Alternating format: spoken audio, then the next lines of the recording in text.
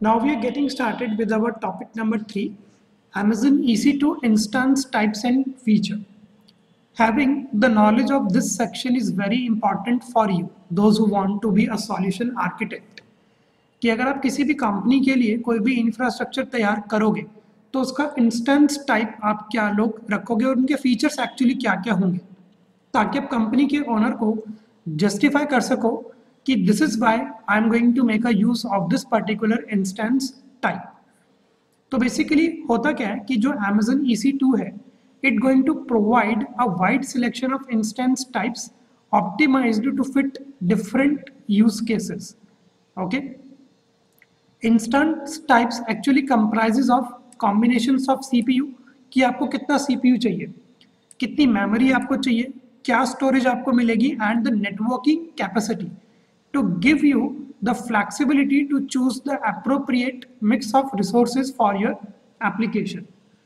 तो अगर आपको EC2 के इंस्टेंस टाइप्स के बारे में पता है कि अगर मैं इस इंस्टेंस टाइप को यूज़ करूँगा तो इतनी मेरे को रैम मिलेगी, इतने मुझे सीपीयू मिलेगा, इतनी नेटवर्क कैपेसिटी इस इंस्टेंस टाइप के अंदर है तो let us say each instance type includes one or more instance sizes allowing you to scale your resources to the requirement of your target workload.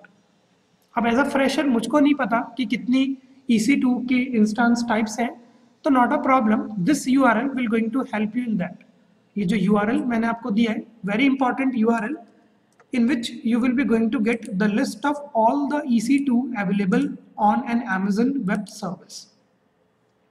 तो यहाँ से इस URL को एक बार एक्सेस हम करके देखते हैं and uh, you will be going to get this page Amazon EC2 instance types. तो लेटेस्ट से अगर आपको बात करो जनरल पर्पस की तो यहाँ पर आपको मिलेगा A1, T3, T2, M5, M5A, M4, T3A. नीचे की तरफ़ स्क्रॉल करोगे तो यहाँ पर इनकी कुछ इन्फॉर्मेशन मिल जाएगी और यहाँ पर फिर आ जाएगी कंप्यूट ऑप्टिमाइज्ड उसके अंदर भी कितनी कैटेगरीज है C5 है C5N है C4 है नीचे की तरफ़ अगर मैं और आऊँ तो let us say you will be going to get memory optimized कि R5 है R5A है। ये सारे, इतने सारे इंस्टेंस टाइप्स आप लोगों के पास अवेलेबल हैं। Then we have accelerated computing ठीक है? Then we have storage optimized then we have instance features की इन सब के फीचर्स एक्चुअली क्या क्या है? तो let's get started with a general purpose where you have chosen this EC2A1 कि आपने किसी भी कंपनी के लिए कौन सी मशीन बनाई? Amazon E C two A one अब ये जो A1 T3 T2 एक्चुअली होता क्या है? ये मैं आपको दिखाता हूँ। जब भी हम लोग कोई मशीन बनाते हैं just understand this step very carefully कि जब भी हम लोग कोई मशीन बनाते हैं ना तो ये हमसे पूछता है कि आपको क्या इंस्टेंस टाइप रखना है। लेट से मैं इस पर क्लिक करता हूँ। I am going to make a use of this launch instance latest से यहाँ पर मैं एक बार गया A W S marketplace में से और यहाँ पर लेटेस्ट से मैंने सर्च कर दिया काले Linux okay let say I want to create a Kali Linux तो आपको भी मशीन बनाने की नीड नहीं है। The moment when you are going to click on select जैसे अब आप करते हो सिलेक्ट पे क्लिक ये इंस्टेंस के टाइप्स आपके सामने होते हैं। ओके okay, ये इंस्टेंस टाइप्स आप लोगों को मिलते हैं। कि अगर आप लेते हो टी टू डॉट नैनो ये कितने पर आवर आपसे चार्ज करेगा? 0.006 प्रति आवर अगर आप सपोज़ करो, ले लेते हो C four into point eight X large तो ये आपसे कितना चार्ज करेगा? 1.59 प्रति hour then we have let's अगर मैं बहुत बहुत बड़ी कन्फिग्रेशन देखो, जैसे ये है तो यहाँ पर ये नज़र आ रहा होगा P three P three X large तो now you should be aware of this instance type कि क्यों ये इतने कॉस्टली है, ऐसा क्या इनके अंदर फीचर है, कि जब मैं इंस्टेंस टाइप ये वाला सिलेक्ट करूँगा तो ये मेरे से 24 डॉलर पर आवर चार्ज करेगा। ठीक है लेट से और भी कोई कॉस्टली है क्या? चलो, और तो कोई कॉस्टली चलो, नहीं है। यही मेरे को एक बार नज़र आया। यही वाला। ओके अब यहाँ पर है ना, इनकी एक्सप्लेनेशन अगर किसी एंड यूज़र को नहीं पता no problem but as a solution architect you should be aware of this कि what is the difference between P three what is the difference between R4 X1 किस कैटेगरीज के अंदर आती है, उसके लिए आप लोगों का ये लिंक होना आपके पास बहुत ज़रूरी है। ओके तो लेटर से अगर आप कोई भी इंस्टेंस टाइप लेते हो T3 ले लिया T2 ले लिया M5 ले लिया, जैसे यहाँ से। Let us say if I make a use of this T2 तो मुझको पता होना चाहिए कि T2 के अंदर क्या क्या फीचर्स मेरे को मिलेंगे। तो all you just need to do is you can just simply click on to this T2 okay और यहाँ पर आपको पूरी डिस्क्रिप्शन मिल जाएगी। कि कितने नंबर ऑफ़ सीपीयूज इसके अंदर रहेंगे? क्या इसकी मेमोरी रहेगी? You just have to scroll down a little bit नीचे की तरफ़ आप लोग एक बार स्क्रॉल डाउन कर।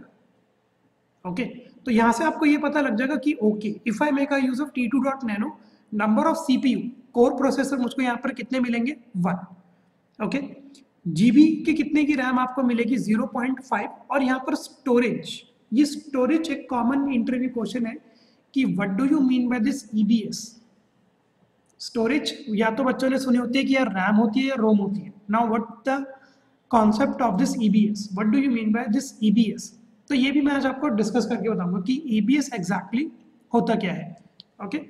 तो ये लिंक आप लोग अपने पास ज़रूर रखना। इस लिंक से है ना आप लोग चेक कर सकते हो कि कस्टमर की क्या रिक्वायरमेंट है। कंपनी की क्या रिक्वायरमेंट है, या आप लोगों की क्या रिक्वायरमेंट है? तो लेटर से जैसे मेरी रिक्वायरमेंट इसमें मैच करती है कि ठीक है, मेरे को दो जी ये सॉरी चार जी की मेरे को मशीन चाहिए और दो कोर प्रोसेसर सी मेरे लिए मोर देन इनफ है। ये पर आवर के चार्जेस हैं आपके सीपीयू क्रेडिट पर आवर तो लेटर से अगर और भी कन्फिग्रेशन चाहिए तो ये एट में ले सकता हूँ, इसके अंदर कितने जीबी की रैम मिलेगी? थर्टी टू की रैम आपको मिलेगी। और ये जो नेटवर्क परफॉर्मेंस है, ये होनी चाहिए मॉडरेट लो, आप तब यूज़ कर सकते हो जब आपको सिर्फ़ एक simple C E C to पे एक फ़ाइल डिप्लॉय करनी है। मेक यूज़ ऑफ़ दिस लो उसके अंदर क्या जीबी वगैरह देखना? एक छोटी सी फ़ाइल डिप्लॉय करनी है।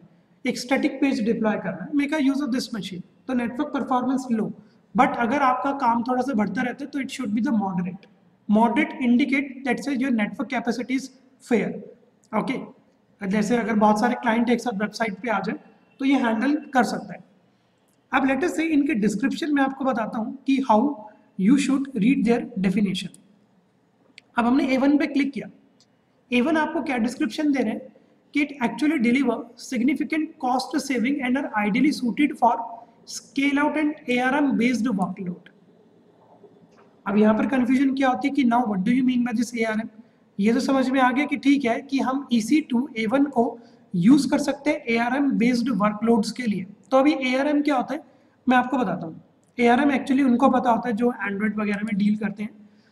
तो A R M actually stand for advanced risk machine A R M की फुल फॉर्म क्या होती है आपकी? एडवांस्ड रिस्क मशीन ये वो वाले प्रोसेसर्स होते हैं that that are actually extensively used in consumer electronic devices ये आईओटी जैसा आप मान के चलो, ठीक है? या latest smartphones tablets multimedia player and other mobile devices such as wearable तो अगर आप लोगों की कुछ इस तरीके की रिक्वायरमेंट है तो अब आप यहाँ पर ये ए वन को यूज़ कर सकते हो कि मेरे किसी कंज्यूमर को या मुझको खुद को एक आईओटी बेस्ड प्रोजेक्ट डिप्लॉय करना है, या मेरे पे एक एंड्रॉइड एप्लीकेशन वगैरह का मैंने कुछ कोड लिखा हुआ है।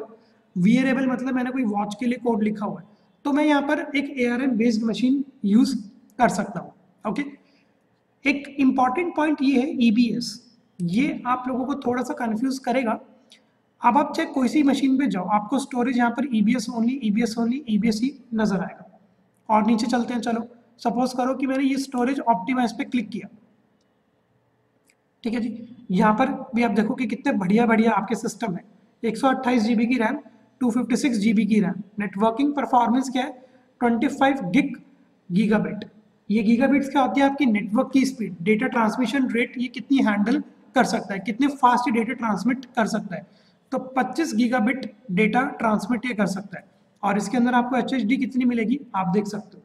आठ इंटू टू थाउज़ेंड एक बार स्टोरेज आप कर लो, शायद अराउंड सिक्सटीन से भी ये ऊपर की जाएगी। और थाउज़ेंड का मतलब तो आप ये मान के चलो कि 1.6 पॉइंट के अराउंड आपको हार्ड डिस्क की सिर्फ़ दे रहा है। ओके बट यहाँ पर भी एक इंपॉर्टेंट पॉइंट ये होगा ईबीएस e ईबीएस e है ना, अगर मैं इस पूरे पेज में सर्च करूँ, बहुत बार मिलेगा। अराउंड 53 टाइम्स यहाँ पर ईबीएस e आया है। अब ये ईबीएस एग्जैक्टली होता क्या storage type now you should understand the EBS concept in a practical approach देखो ईबीएस का होता क्या है? आप लोग ये बताओ कि रैम रोम की मेमोरी के बीच में क्या डिफरेंस है? ओके तो here I am getting some responses कि ये क्या क्या इन्फॉर्मेशन आई थी। कि बताया आप लोगों ने कि जो रोम होती है, वो नॉन वालेटाइल है। Non volatile means which stores the data permanently इस तरीके से हमारे पास एक ईबीएस होता है। ईबीएस की जो फुल फॉर्म होती है, वो होती है elastic block store okay Amazon EBS की फुल फॉर्म जो होती है, वो होती है elastic block store and it is a cloud based block storage system provided by Amazon web Services that is best used for storing persistent data okay which is best suitable for storing the persistent data so basically Amazon EBS enable you to keep data persistently on a file system even after you shut down your ES2 EC2 instance okay okay? तो यहाँ पर कोई RAM ROM जैसा concept use नहीं होता Amazon actually uses the concept of this elastic block store where your data is store permanently okay चाहे आप अपनी मशीन को बंद भी कर दो ई टू इंस्टांस को जब नेक्स्ट टाइम आप ओपन करोगे। अब ये जो ई e के अंदर है, इसी ई e के अंदर आपकी ये पब्लिक की स्टोर रखता है अमेजन कि जब आप पुट्टी प्राइवेट की दोगे पब्लिक की से मैच होती है तो ये आपको इनेबल या एक्सेस प्रोवाइड कर देगा। तो अमेजन के अंदर जितने भी हमारी वर्चुअल मशीन्स हैं they all uses the concept of this EVS तो परसिस्टेंट डेटा वही होते हैं, जो एक्चुअली स्टोर से डेटा परमानेंटली तो यहाँ पर जो स्टोरेज फ़ाइल सिस्टम है, वो है हमारा E B S Amazon elastic block store E B S की ये वाली फुल फॉर्म है ओके तो using this U R L you can cross check कि अगर आप कोई सा टाइप ले रहे हो तो उसकी क्या इंफॉर्मेशन है ओके okay? अगर आपने एच वन लिया तो आप इस वाले पे क्लिक करके चेक कर सकते हो कि यार एच वन एक्चुअली क्या करेगा? टी टू एक्चुअली क्या करेगा? क्रिएट में। जब हम क्रिएट करेंगे ना, जैसे अभी एक मैं मशीन बनाऊँगा तो वहाँ पर एक क्लियरली ऑप्शन आता है ईबीएस का। क्लियरली एक ऑप्शन नज़र आता है ईबीएस का। ठीक है? तो यहाँ पर अब आप ये क्रॉस चेक कर सकते हो कि अगर मैं लेटेस्ट से कोई मशीन ले रहा हूँ आर फोर तो वो आर फोर मशीन क्या करेगी? क्या क्या उसके फीचर्स है? और क्या क्या मेरे को उसकी फंक्शनैलिटी मिलेगी? ओके तो देख सकते हो कि 488 जीबी की सिर्फ़ रैम रैम की यहाँ पर बात कर रहे हैं। और चौसठ सिक्सटी कोर प्रोसेसर सीपीयू। तो अगर आप एक R four into sixteen X large machine लेते हो तो ये कॉन्फ़िगरेशन आपको मिलेंगे।